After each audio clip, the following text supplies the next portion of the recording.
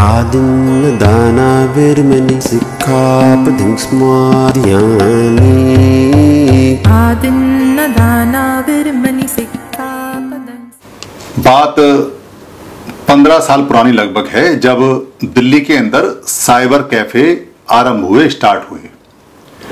Cyber cafe मतलब एक दुकान जिसके अंदर छोटे छोटे से केबिन बने हुए हैं और वहाँ पर कुछ कंप्यूटर रखे हुए हैं। आप इंटरनेट से वहाँ जाके इंटरनेट का काम कर सकते हैं दस रुपये घंटे के हिसाब से। मैं उन दिनों साइबर कैफ़े में जाके जाता था तो वहाँ चैट रूम हुआ करते थे। यानी कि वहाँ लोग चैटिंग करते थे, कोई भी कर सकता है। किसी का कोई भी रूम ज्वाइन कर सकता था। तो मैं चैट करता था। तो चैट करते समय एक बार एक बहुत ज़्यादा ऊँचा पढ़ा लिखा व्यक्ति मेरे से टकराया और वो मुझे गॉड के बारे में ज्ञान देने लगा, जानकारी देने लगा लेक्चर देने लगा। वो मुझे गॉड के बारे में बातें करता और मैं अपना कोई छोटा सा प्रश्न उसको देता। वो छोटे से प्रश्न में चित्त हो जाता, फिर वो थोड़ा गॉड का जितना उसने सीखा, जितना वो जहाँ से पढ़ के आया, जितना उसने सीखा, फिर वो कुछ करता और फिर वो मैं कोई छोटा सा प्रश्न उससे करता, फिर वो चारों खाने चित्त हो जाता। ऐसे तीन चार पाँच दिन चले, उसने मेरे पे अपना इन्फ्लुएंस करने के लिए, अपनी धमक और अपनी दादागिरी दिखाने के लिए उसने अपनी डिग्रियाँ बताई मुझे कि वो कितना पढ़ा लिखा है। मैं तो आठवीं पास बड़ी मुश्किल से व्यक्ति मैं उसकी डिग्रियों का मुकाबला क्या करता? तो वो सारी बातें चैट पर करने लगा, गॉड की महिमा करने लगा, मैंने फिर एक छोटा सा क्वेश्चन किया, वो फिर चारों खाने चित हो गया। फिर उसकी महिमा खत्म हो गई और वो थक गया। थकने के बाद उसने मुझसे पूछा कि आप मुझे एक प्रश्न का जवाब दीजिए। क्या आप गॉड पर यकीन करते हैं? तो मैंने उससे कहा कि तेरा गॉड मेरे यकीन पर टिका हुआ है। तो सोच तेरा गॉड खड़ा कहाँ है? ये सेंटेंस सुनने के बाद में फिर उसने गॉड का प्रचार करना छोड़ दिया और उसने मुझसे माफ़ी मांगी। उसने दोनों हाथ मुझसे जोड़ के कहा कि मैंने बहुत लोगों को गॉड के बारे में सच समझाया, सभी कन्विंस हो गए। आज मैं आपसे कन्विंस हुआ हूँ, एक सेंटेंस ने मेरी ज़िंदगी बदल दी कि अगर तेरा गॉड मेरे यकीन पे टिका हुआ है तो तू सोच के तेरे गॉड खड़ा कहाँ है, तेरे गॉड का स्टैंड क्या है, तेरी गॉड का, तेरे का स्टेटस क्या है, क्या पोजिशन है? ये बहुत महत्वपूर्ण सवाल है।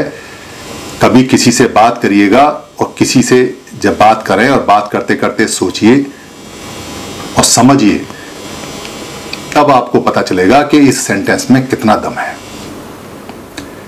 सेंटेंस बहुत सिंपल सा है कि अगर तेरा गॉड मेरे यकीन पे टिका है तो तू सोच के तेरा गॉड कहाँ खड़ा है। दरअसल मैं इसलिए बोल रहा हूँ आपको क्योंकि आप अपना यकीन फ्री में लुटाए जा रहे हैं। यकीन मतलब आप प्रतिक्रिया दे रहे हैं। आप क्रियावादी नहीं है, प्रतिक्रियावादी हैं। आप निकम्मे हैं, नाकारा हैं। आप कंपिटेंट नहीं है, आप दरअसल कुछ करना नहीं चाहते, इसलिए कोई और कुछ कर रहा है, चारों तरफ़ कुछ कर रहा है, देश में कुछ कर रहा है, दुनिया में कुछ कर रहा है तो आप उस पर सिर्फ़ प्रतिक्रिया दे रहे हैं, क्रिया नहीं दे रहे हैं। इसको ऐसे समझिए, एक चित्रकार ने क्रिया कर कर एक बहुत बढ़िया एक मूर्ति, एक स्टैचू बनाई, और वो उसने प्रदर्शनी में रख दी। और उसने एक बोर्ड वहाँ लगा दिया और कहा कि किसी भी व्यक्ति को अगर इसमें कोई कमी लगे तो यहाँ नोट कर दे। लिख दे। तो वहाँ जो भी व्यक्ति उसे देखने आता, वो कोई ना कोई, कुछ ना कुछ उसमें लिख देता, हर एक व्यक्ति। इसमें ये कमी है, इसमें ये कमी है, इसका दांत थोड़ा ऐसा होता है, इसकी आँख थोड़ी, इसका रंग, इसका नाक, इसका बाल, पचासों बातें उसमें हर व्यक्ति ने लिख दी। उस व्यक्ति ने फिर दूसरा बोर्ड लगाया।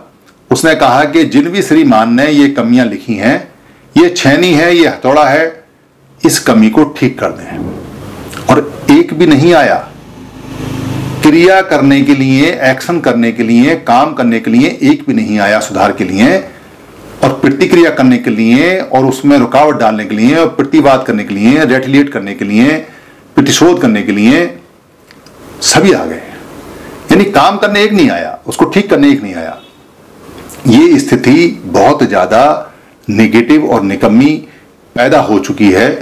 कोई काम कर रहा है, किसी ने संगठन बनाया है कोई सौ साल से लगा हुआ है, किसी की कोई विचारधारा है, कोई अपने कार्यालय बना रहा है, कोई अपने लोगों को कुछ दे रहा है, कोई अपनी स्ट्रेटजी पर चल रहा है, कोई किसी तरीके से चीज़ें चल रहा है, उसका काम है, वो कर रहा है, उसे वही करना है, क्योंकि उसने वो सीखा है, उसके लिए वो अपना जीवन दे रहा है, चल रहा है, उसको वो क्रिया कर रहा है। आप क्या कर रहे हो? उसकी क्रिया में शामिल होकर प्रतिक्रिया दे रहे हो उसको।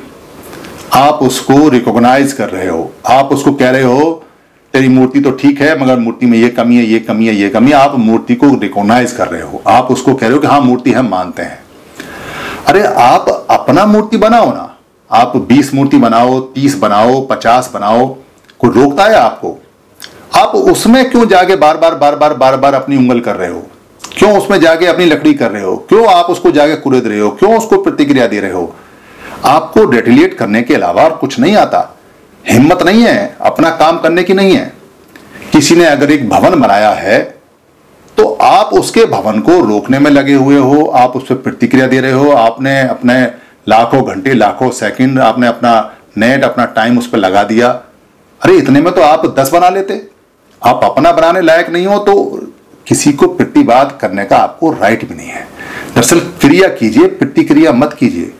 जो प्रतिकार आप कर रहे हैं, जो प्रतिकार आप कर रहे हैं, उससे जिसका प्रतिकार कर रहे हैं, उसको फ़ायदा होता है, उसको एनर्जी मिलती है। ये ठीक ऐसे मैं आपको बताऊँ। एक औरत ने एक पाजेब खरीदी और एक उसने अंगूठी खरीदी। अब पाजेब और अंगूठी उसने खरीद ली और गाँव को पता नहीं चला। तो उसने कहा कि भाई हमने ये अंगूठी खरीदी और ये पाजेब खरीदी और गाँव को पता नहीं चला। तो फ़ायदा क्या हुआ? जब तक दस बीस लोग जलन से ना मर जाएँ ईर्षा से ना मर जाएँ, परेशान ना हो जब तक दस बीस लोग कुएँ में कूद के ना मर जाएँ इस कारण से, तब तक इसका मज़ा नहीं है। तो उसने कहा, ऐसी बात है तो ठीक है, मैं गाँव की दावत को बुलाता हूँ। तो उसने गाँव की दावत बुलाई, और गाँव की दावत पहले क्या होती थी? पत्तलों पर नीचे बैठ के। और वो जो औरत थी, वो अपनी पाजे पहन के और अपनी अंगूठी पहन के आई। पाजे बजाती हुई सबको दिखाती हुई, और अब अंगूठी दिखानी है तो कैसे करे? तो अंगूठी को उसने ऐसे किया, और अंगूठी को ऐसे करके कहती है झा पस्सो झा पस्सो झा पस्सो झा पस्सो यानी कि यहाँ खाना परसो यहाँ परसो यहाँ परसो पाली में पस्सो बोलते हैं। तो पस्सो पस्सो कर रही है, और वो सबको दिखा रही है। तो लोग खाना खाना भूल गए। जो औरतें थी, वो खाना खाना भूल गई। अब जो छमछम करती हुई उसकी पाजेब थी, जो वो अपना घाघरा उठा के पाजेब बजा रही थी, उसको देखें या झा पस्सो की अंगूठी देखें। खाना तो उनका दूबर हो गया, बेकार हो गया। क्योंकि लोगों ने अपनी प्रतिक्रिया दे दी। अगर वो बिना प्रतिक्रिया दिए उसका खा जाते तो उसका माल भी खा जाते और अंगूठी का उसका कोई फ़र्क नहीं पड़ता।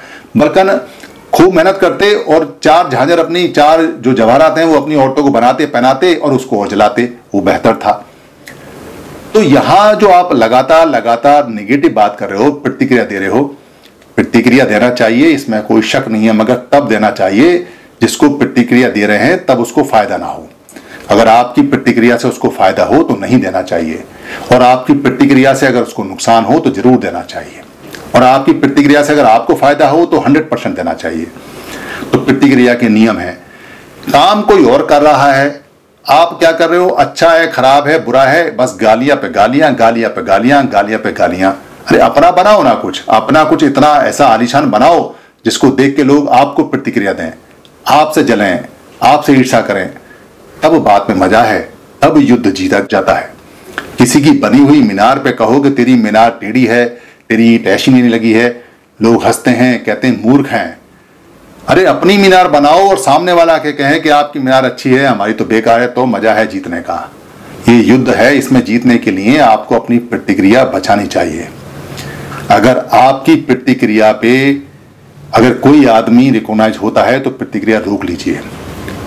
अगर मेरे मानने पे तेरा गॉड एग्जिस्ट करता है तो मैं ऐसी मान्यता नहीं देता, तेरा गॉड खत्म हो जाता है। फिर तेरा गॉड नहीं रहता, क्योंकि गॉड की पहली शर्त है कि मानना है। है नहीं, मानना है।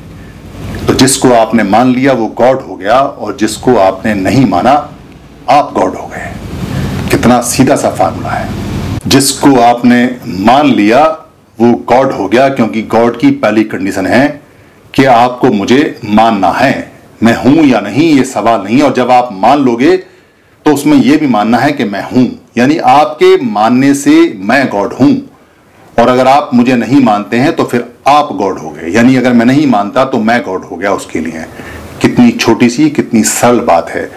आप प्रतिक्रिया देना बंद कीजिए, क्रिया शुरू कीजिए, एक्शन शुरू कीजिए रेटिलिएट मत कीजिए, प्रतिवाद मत कीजिए, एनर्जी को बचाइए।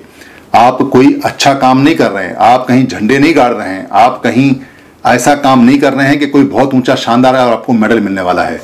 मेडल आपको जब मिलेगा, जब क्रियावादी काम आपका बहुत बढ़िया होगा, लोग उसको देखने आएँगे। धन्यवाद। टीम 22 पर सभी वीडियो बुक कॉपीराइट फ्री है। आप अपने पोर्टल पर, अपने यूट्यूब पर, अपने फेसबुक पर या किसी भी, जो भी ऐप है, उस पर आप यहाँ से डाउनलोड कर कर टीम 22 से या फेसबुक से या मेरे पेज से कहीं से भी कोई भी वीडियो ले सकते हैं, उसको डाउनलोड कर सकते हैं, उसमें अपने नाम का कुछ भी ऐड कर सकते हैं या अपनी कमेंट्री कर सकते हैं। उस वीडियो का कोई भी पार्ट आप ले सकते हैं, उसका प्रिंट मटेरियल भी बना सकते हैं। उसको किसी भी भाषा में आप बदल सकते हैं, उसका ऑडियो चेंज कर सकते हैं, उसका वीडियो ले सकते हैं। आप जैसे भी चाहें टीम 22 की किसी भी वीडियो का या सारी वीडियो का इस्तेमाल कर सकते हैं। ये हमेशा कॉपीराइट फ्री थी और हमेशा कॉपीराइट फ्री रहेंगी। हमारा सिर्फ़ इतना काम होता है कि महापुरुषों की जो बातें हैं, उन बातों को हम सरल भाषा में, आम भाषा में आप तक पहुँचा देते हैं। अब आगे आपका काम है कि आप अपनी भाषा में बदल के या ऐसा का ऐसा शेयर करके, या इसको आगे भेजकर, या इसका लिंक भेजकर, या इसमें से कोई भाषा बदलकर, या इसको प्रिंट कर कर, या इसको लोड कर कर, या डाउनलोड कर कर या इसको टीवी में बच्चों को दिखाकर या किसी को गिफ्ट कर कर जैसे भी चाहे वैसे इसको आगे पहुंचाएँ। धम्म की सेवा सबसे बड़ी सेवा है, क्योंकि धम्म दान धम्म को देना सभी देने में, यानी जितना भी हम किसी को देते हैं, दान देते हैं, उनमें सबसे बड़ा माना जाता है। अगर आपको लगता है किसी वीडियो में कोई परेशानी है तो आप हमें लिख के भेज दीजिए, हम दूसरा वीडियो बनाकर आपको भेज देंगे। आप धम की सेवा में सहायक बने, धम आपको खूब लाभ लाभ देगा। धम आपको लाभ देगा, आप धम को लाभ देंगे, ये दोनों इंटरचेंज है, यही धम की प्राकृतिक नियम है। धन्यवाद। गच्छामि